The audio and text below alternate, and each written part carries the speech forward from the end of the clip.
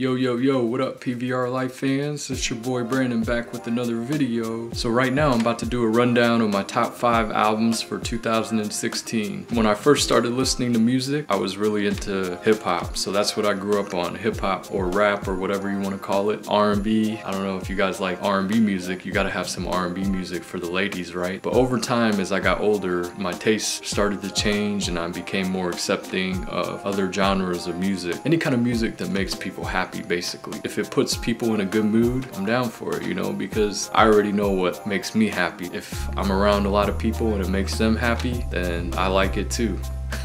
message, but that's not what this video is about today. This video today right now is about my top five albums for 2016. All right, let's get into these albums, my top five albums in no particular order. Album number one, Stoney, Post Malone. So this is his debut album right here. To me, I thought this album was fire. This is the deluxe version, so it's a little bit long. There's 18 tracks on it. I think this dude, he did a really good job of getting on the new wave, you know, and making music that he wants to make. My favorite track on here is Congratulations, so that's a really dope song. No Option was dope, Big Lie was dope, that's track number two. Yours truly, Austin Post was fire. So some of the other tracks that have been out for a while, like White Iverson, Too Young, and Go Flex, he put those on here. Those songs were really good. There was that other song with 2 Chainz, Money Made Me Do It, that was on his mixtape. I don't think those songs take away anything from this album, you know, they were good songs even though they're older tracks, you know, so I'm actually happy that he put White Iverson on here because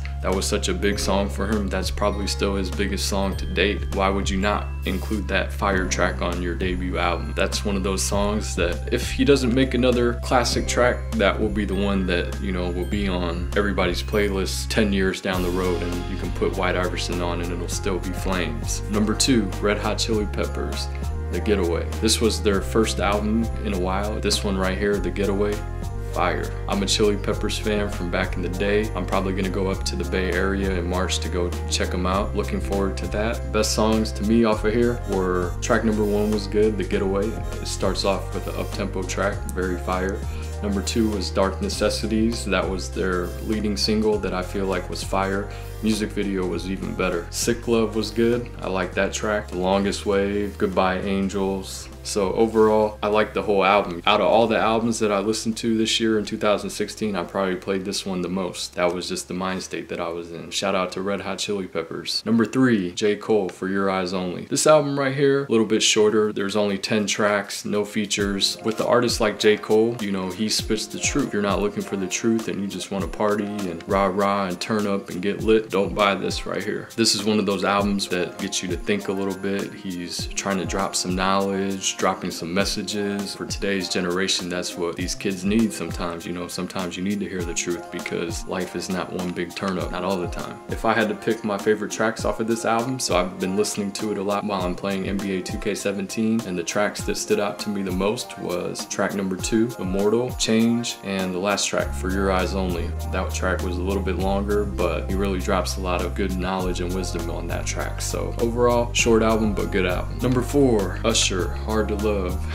I like R&B music. You know, you gotta like music that the ladies like. If you guys don't know how to get girls or you don't know how to talk to women, listen to R&B. These R&B artists like Usher, Chris Brown, Trey Songz, they make songs for the ladies and if you're a guy and you hate on that, you probably don't have a lot of women. Don't be afraid to learn from the masters. So anyways, this was his first album in a while. The hardest part about being an artist or a musician is constantly reinventing yourself to appeal to the younger generation. I think he did a good job with that track No Limit featuring Young Thug. You know, the video was super dope too, getting all those young kids and having them dance in the video. That was a very dope music video. Uh, so the tracks that I like off of this album in no particular order are No Limit, that song Crash, it was good. Rivals featuring Future, that song was fire. And FWM, that's an acronym for something that you'll have to find out when you listen to this album. This album, pretty good. It'll be in rotation in the future. And the last album, The Game.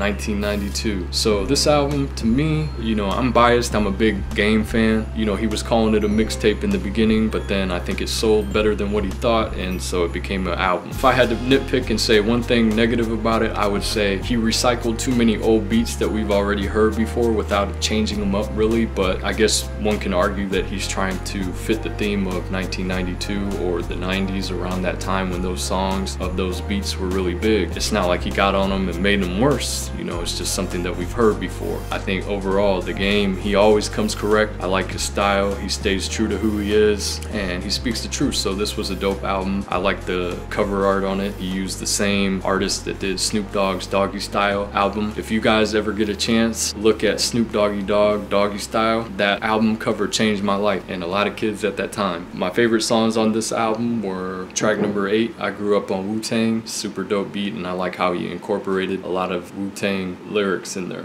Track number 12, 92 bars, fire. That was just a basic, hard hitting beat, and he just goes hard on it, and he goes hard at Meek Mill and a lot of haters, so that was the joint right there, 92 bars. It kind of reminds me of Puff Daddy's All About the Benjamins beat. You can just put it on, put on the instrumental, and just kind of like zone out and just rap on it, you know, freestyles. Track number one, Savage Lifestyle, that was a dope track too. That one, he kind of brings to life the 1992 riots back then with Rodney King and all that. There was a big riots of Los Angeles in 1992, and he did a really good job of bringing to life what happened at that time period. That set the mood for this album. This one has replay value in my opinion, so I'll definitely be listening to this one again in the future. All right, PVR Lyfe fans, so that's what it is. Those are my top five albums. Leave a comment in the comment section below and let me know what your top five albums of 2016 were and why. All right, this your boy Brandon, PVR Lyfe, signing off. I'll catch you guys soon. Peace.